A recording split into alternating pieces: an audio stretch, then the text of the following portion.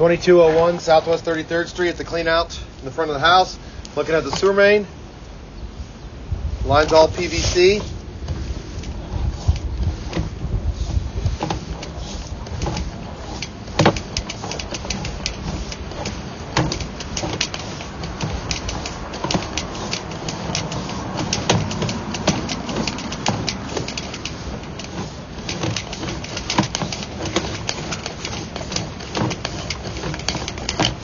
And that's it.